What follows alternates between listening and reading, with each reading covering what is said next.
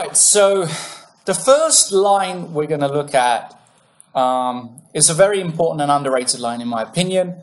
It's a line that you are going to get fairly often. Um, and that's after playing bishop b5 check in the Moscow Sicilian, move knight c6. Now, this is the third most played move in this position. Um, the move bishop d7 has been the main line uh, by far for many, many years, blocking the check in a very natural way. But the move knight to d7 has really come about, I would say, um, over the past 10, 15 years as a serious way for black to attempt to play for win against the Moscow Sicilian. Black blocks the check in a very unnatural way in order to potentially uh, obtain the bishop pair, and uh, it's a very unbalanced way to uh, to play, very ambitious way to play against bishop b5. However, the next most natural way to play against this is to play the move knight c6. Now, of course, I want to point out very simply that we can get after two knight c6, bishop b5, d6 can come about as a transposition. So the, the lines with this particular position will be dealt with here and not in the section on the Rossolimo. Knight c6, what's this move all about? Well, you're blocking the check. Uh, you're bringing the knight out to its most natural square. It's got to be a completely fine move. And now as white, uh, I suggest just castling. Perhaps opening up some options for going d4. Uh, if black doesn't uh, hurry up and defend against the threats and play the move bishop to d7, which is the main move, uh, by some distance, and the move you're going to get almost all of the time. And we're going to be looking uh, at a game first off between Emil Sutovsky and Grebionkin from 2003, uh, featuring a sideline uh, which is uh, you're going to get, you know, a fair amount of the time. And knowing some of the tactical motifs that Emil presents in this game, I think is is really essential. So after bishop d7, we should almost always play the move rook e1 here. Not g5, although that is a move we, ironically, we'll see in other lines. And uh, in this position here, black tends to play uh, two main moves. So this is the main kind of spot of rook e1. And you can see there the arrows on the board I've highlighted because the move rook e1 not only brings the rook into the game, protects the e4 pawn, it vacates the f1 square for this bishop. Uh, now, that might not look like much, but in a lot of positions, especially after the main line, which is going to be discussed in some other games, which goes knight f6, white now plays c3, aiming at building his perfect central duo, and after a6, the move bishop to f1, just bringing the bishop back to uh, safety on F1 has been the main move for many years, and it's a move we're going to be analyzing in this series. Nevertheless, after rook e1, black can alter the move order here and play the move a6 first, which uh, looks like a perfectly natural move. You're putting the question to the bishop. And now, of course, white can play the move uh, bishop to f1 here. Uh, this has been played before, but it's not as good in this particular position because here black can actually play the move bishop g4. And getting in c3, d4 here is not as easy. So after a6 immediately, and that's a6 before knight f6, in this position here, rook e1, a6, I actually recommend that we play a la Sutovsky and take on c6 immediately. Black takes back with the bishop, and now we open up the center. So we've given up the two bishops here as white, fine. Now what do we have in return? We're going to open up the center and utilize the central concentration of our pieces to actually pose black some serious problems. Black takes on d4, as in every Sicilian. And now I recommend you take back on d4, like Sutovsky did, with the queen. Taking back on d4 with the knight is perfectly fine and perfectly reasonable. In fact, it's been played by a bunch of top players. But Sutovsky and Chris Ward even have tended to take back. I, am sorry, Gawain Jones against Chris Ward, I should say, have t- attempted to take back on, tended to take back on d4 with the with the queen. I think this is a more aggressive option. It's an option I like. Now, that's not to say if Black knows what he's doing that he can't get a perfectly fine position. But I think, practically speaking, dealing with this move over the board is quite difficult. So when you take back with the queen on d4, you do so because that queen can't really be bothered apart from one way, which is for black to play the move pawn to e5. But as soon as he does that, let's just say, for example, he did it in this position here, white will drop his queen back to d3. And what black has done is he's given himself a backwards pawn here on d6, which can be attacked along the d file in many ways. And white can just simply occupy this d5 square in a very kind of um, well-known way in the Sicilian. So this is more of like a Sveshnikov structure, but black has to be really careful that white just doesn't build up a lot of pressure against the d6 pawn and put one of his knights on d5. We're going to have a look at some other lines. So after queen takes d4, um, what black tends to do uh, and what Grebionkin did is play the move knight f6. And now I recommend white simply play the move knight to c3. Uh, we did actually see Gawain Jones against Chris Ward play the move bishop to g5, e6, and now knight bd2. Very interesting setup. Looking at putting the knight on a more dynamic square, such as the c4 square, but as it turns out, I don't think this is that good, and I prefer just playing the much more simple, much more natural move knight to c3. And already in this position, and the reason why I'm proposing this so many tactics are going to be available shortly. Black has to be very, very precise to maintain the balance.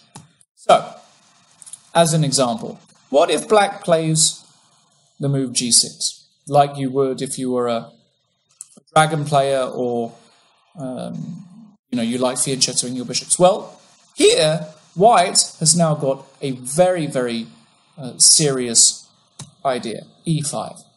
Remember how I spoke about having the central concentration of pieces.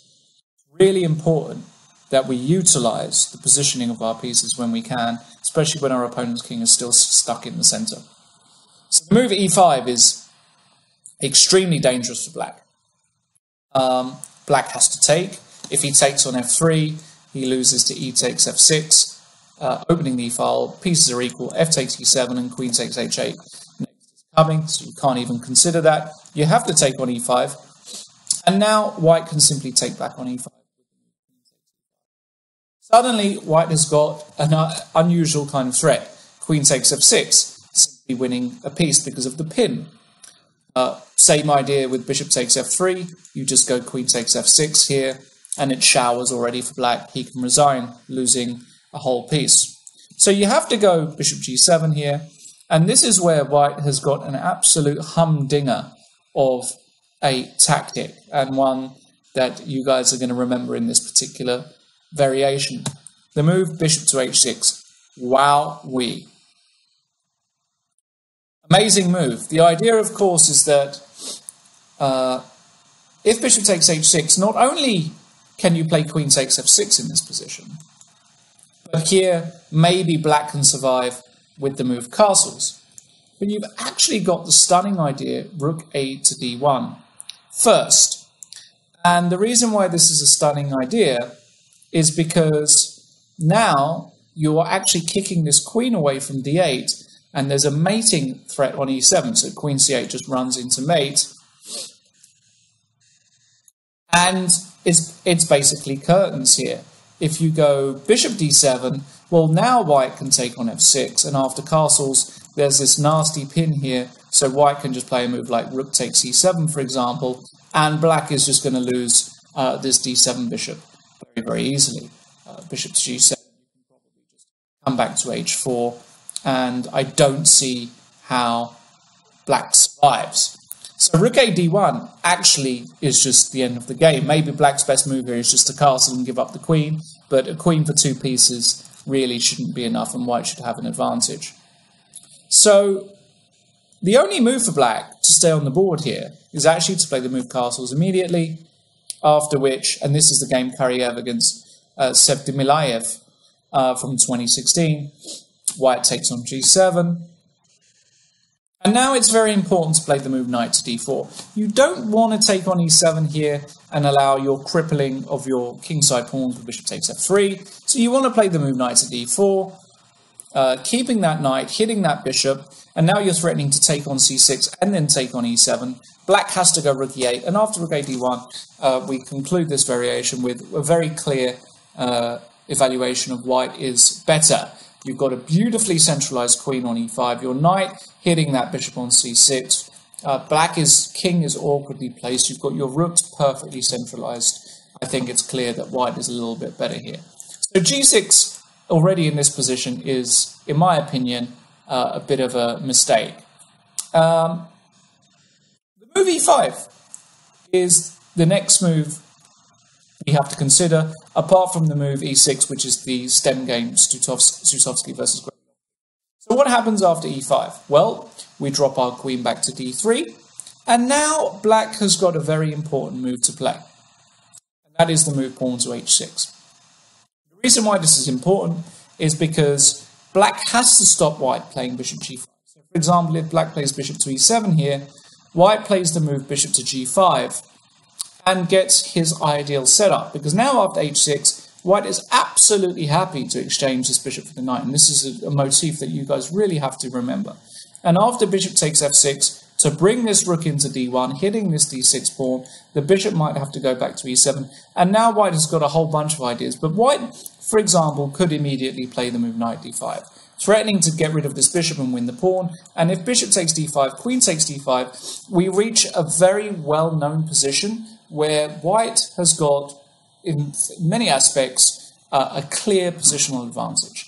The black bishop is extremely passive against this white knight, and this white knight is going to find its way either to the d5 square, the f5 square, the c4 square.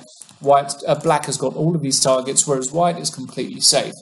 The, the, if the ever goes to c8, you put your pawn on c3, and it's simply a position that is one of the most inferior kind of Sveshnikov positions that you could get with black. Black absolutely has to play the move h6 to avoid this exchange of bishop for knight. And now I suggest the move knight to d2. Very well-known move in these positions. It looks odd blocking in your bishop, but the idea is to reroute the knight via the c4 square. So uh, black will most likely play the move pawn to b5, as per the game uh, Guyot versus Colas or Shiam versus Jumaev. And now I'm going to suggest a very important novelty. In both of those games, White played the very meek a3. We're not going to be meek. We are going to meet things with energy and play the move pawn to a4 in this position. Very important move. The reason behind that is you want to force black's hand. So when he plays the move b4, you can now play the move knight into d5.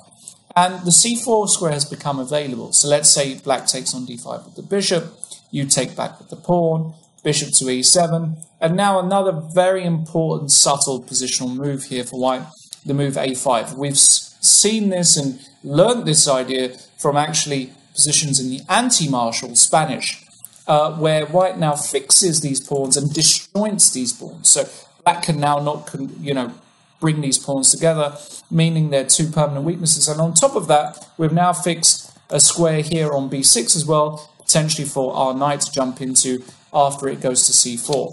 So, for example, knight to d7, knight to c4, castles, and bishop to e3.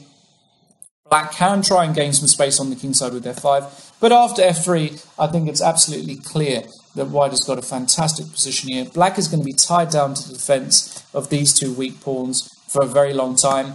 If black ever commits with f4, we can just slide back to the f2 square. Now he gives up another important square on e4. Meanwhile, this bishop here on e7 is really struggling to get into the game. So I think this move a4 in this position, a serious theoretical uh, novelty and one that we'll see a bit more. So e5, nothing to worry about. As per the game, Sutovsky Rebyonkin, and the move you're going to get for the lion's share, if they play a6 in this variation very early, is the move 9 pawn to e6. Well, we continue as normal. As, with, as normal, and what I mean by as normal is by playing the move knight to d5. Uh, you can play bishop g5 here, of course, that's a very uh, well-known idea. And after bishop e7, rook a to d1. But if you compare this to the lines with knight, uh, uh, sorry, e5, black simply doesn't have the kind of weaknesses. And the problem with white here is that if you take on uh, on f, let's say black castles, and you take on f6 here, looks as though things are great because you say, well, you know, he has to go g takes f6 and we cripple his kingside. No. In this position here, black can just play the move bishop takes f6, and this is a move that is often uh, completely underestimated here. And after queen takes d6, black can either take on d6 first or take on c3 whatever he wants, or play the move queen a5. But the point is that these these positions here, just because white has won a pawn, look at the pawn he has actually got here. I mean, these pawns are just disgusting, sitting on the, the open c file. And actually, these positions are completely fine for black. For example, uh, as as played by uh, Grandmaster Evgeny Vorobyev in 2004, this position here is just absolutely fine for black. Um, the extra pawn is worthless. So you can play bishop g5, but it doesn't actually bring much. It's not critical. But the move knight d5 is going to really send uh, the shivers up your opponent's spine. And um, Sutovsky is the kind of guy we want to watch when this kind of typical Sicilian motif takes place. So, what is knight d5 all about? Well, obviously, it's a piece sacrifice. Guess the first thing we have to try and understand is what happens after e takes d5. Well, e takes d5 is just not very good because after e takes d5 check, we win not only the pawn back, but we open up with check. So after bishop e7, we can take on c6, b takes c6. And here white has got a whole bunch of uh, moves, but you know, if you really uh, wanted to in this position, you could play bishop g5, you could stop the black from castling with a move like queen to e3. Um, there are many, uh, many different ideas here. Uh, for example, you could even play the move queen to a4 here, just targeting this weak c6 pawn, and then after queen d7, maybe play knight d4, and after rook c8, you can go bishop g5, and after castles, well, you can even just nab a pawn here on a6, and this isn't necessarily the only way to go in this position. So, um, you know, e takes d5 simply uh, isn't good enough for equality. White, white will just get a commanding position. The same goes actually if black decides to take on d5 with the knight. Knight takes d5. Well, now we take back on d5, and lo and behold, we've once again got this fantastic pin after knight d5, e5. Um, black is already in deep trouble. Bishop takes d5. We just win it because of the pin. So the bishop uh, will probably have to go back to d7. And now we can just play we could play a bunch of moves here, actually. Um, it's not clear even what is the best. Many moves win. For example, uh, taking on e6 and playing bishop g5 looks devastating because you can't go bishop e7 on account of queen takes g7. Black's position falls apart.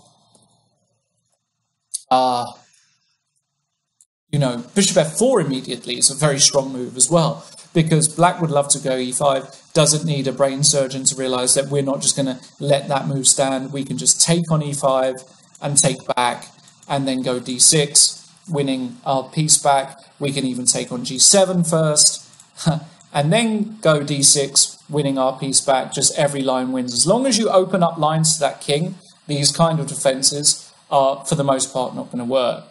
So after knight d5, Grebionkin played a move which uh, is probably the second best move in this position.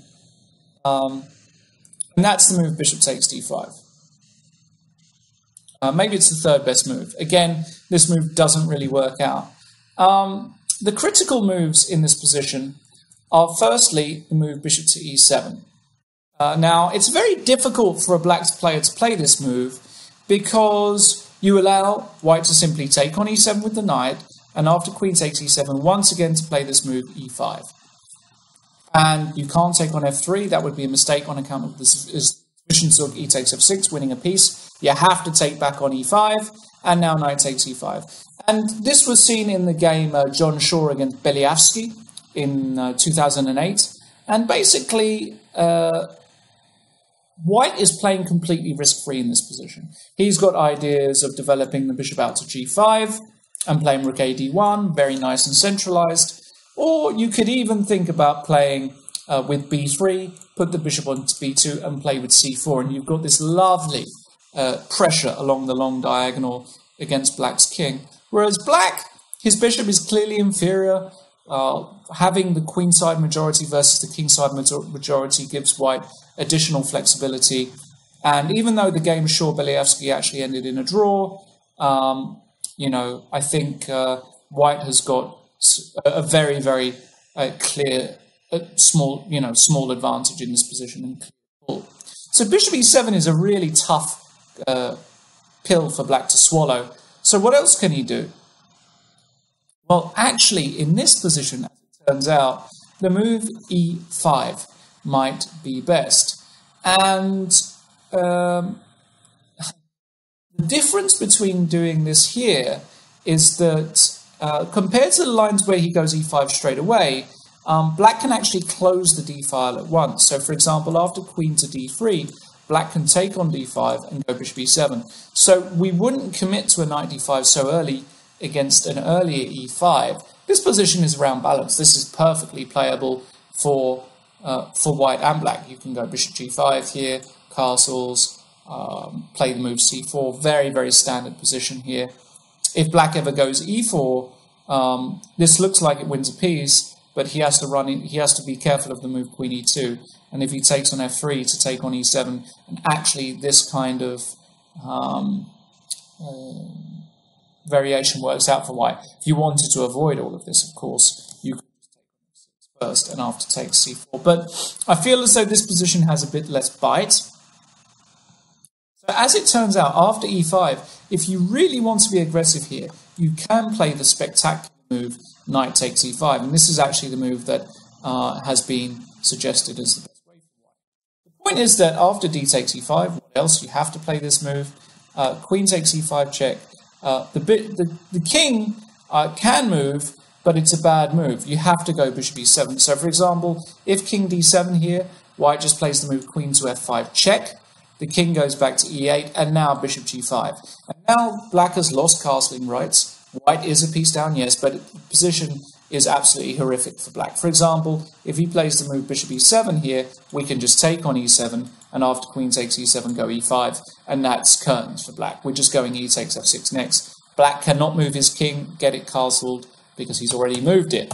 So, I mean, you know, and also I should point out that if black plays the move bishop takes d5, puke, uh, opening the e file, e takes d5, bishop e7. Now we can take on f6, and now we can take here like so. Once again, black is in huge trouble. d6 is threatened, queen takes h8 is threatened.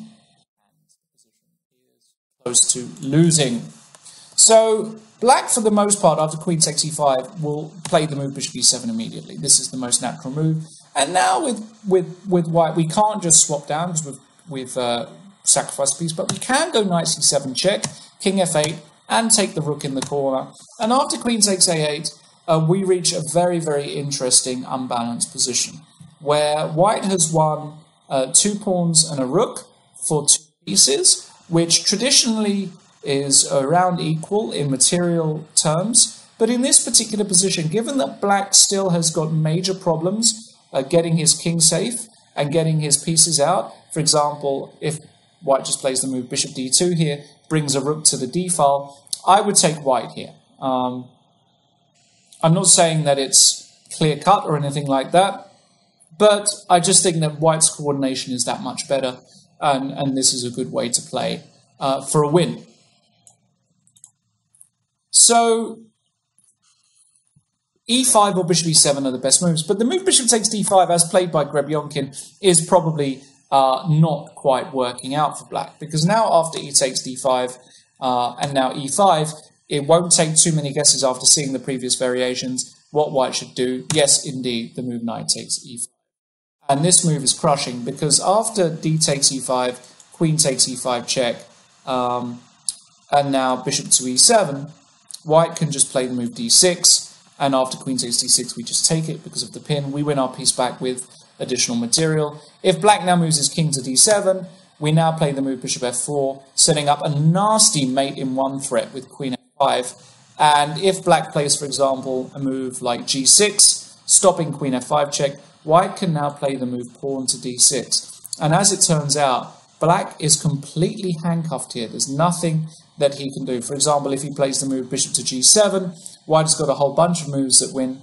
Everything wins. But I would recommend playing a move like probably queen to d4, threatening the move rook e7 check. And if rook e8, we can now just go rook e7 check anyway. Absolutely stunning stuff. Uh, the point is after rook takes e7, d takes e7, discovered check, king takes e7, we can now throw this check in, and the king never gets safe. For example, if king e8, we throw rook e1 check in, and if the king goes to d7, now we take on b7, and it's mate on the very next move. Absolutely glorious stuff. And so this position here basically is curtains for black. Rook e7 check is coming.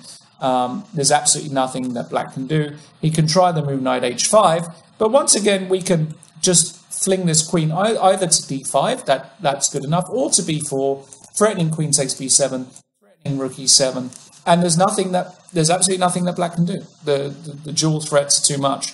Knight takes f4, uh, queen takes b7 check, king takes d6, rook a d1 check is one very pretty variation. king to c5, b4 check, the king running up the board just like we like it, king to c4, queen c6 check, we give a check on b1, and after king a5 check, and mate finally. Obviously with the king running up the board, there should be checkmate there. So basically, after knight takes e5, you can't take back on e5. It just doesn't work. You're just getting checkmated. So you have to go bishop e7, but this is obviously very sad to give up a pawn and a central pawn as easy as that. And now, many ways to play here.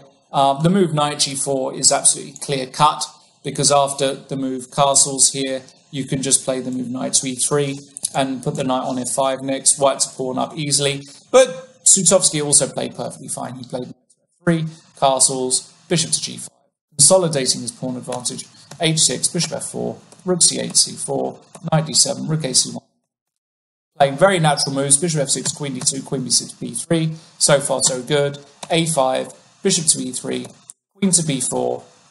Um, good try by Grebionkin to try and uh, open some files, but after bishop f4, oops, the d6 pawn. Take that off, thank you very much. Take that off. Two pawns, exchange up it's going to be a very easy conversion for somebody of Sutovsky's level. So, all in all, the line involving uh, after rook e1, the main move is knight f6, but if they play an early a6, as per this game, I recommend just taking on c6, playing d4, getting that queen active, and you will pose your, prob- your opponent serious, serious problems. I think this is a really, really beautiful way for white to play.